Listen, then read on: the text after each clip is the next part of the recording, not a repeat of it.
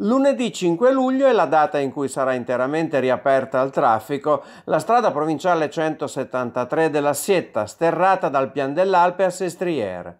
La chiusura al traffico motorizzato dalle 9 alle 17 dal Colle Bassé al Pian dell'Alpe è fissata anche quest'anno nelle giornate di mercoledì e sabato nei mesi di luglio e agosto. Il consueto ripristino primaverile è stato complicato dal crollo di un imponente muro di sostegno della strada a due chilometri dal pian dell'Alpe. Il muro, alto 10-12 metri fuori terra, era costruito con pietrame a secco, come la maggior parte delle opere di sostegno del tratto della provinciale 173 che dall'intersezione con la 172 del Colle delle Finestre a Pian dell'Alpe prosegue fino al Colle della Sietta. A seguito delle piogge del mese di maggio, il tratto crollato inizialmente di larghezza pari a 4-5 metri si è allargato, formando una voragine sul piano viabile, con un elevato rischio di franamento del corpo stradale. La direzione Viabilità 2 della città metropolitana di Torino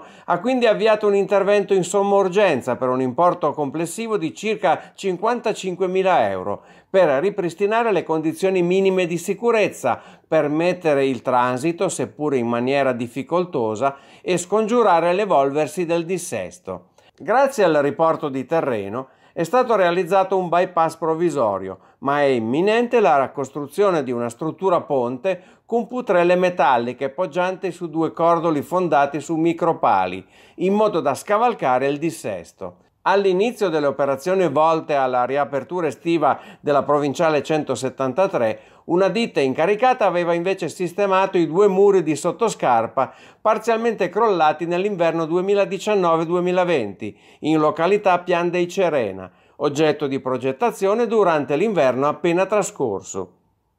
Attraversando versanti scoscesi a quote superiori ai 2000 metri, la strada necessita tutti gli anni di interventi per la rimozione di slavine, massi e pietrisco, la risistemazione della segnaletica verticale danneggiata dalle nevicate e dalle slavine e, quando necessario, il rifacimento dei muri di sostegno a valle e di contenimento a monte della carreggiata.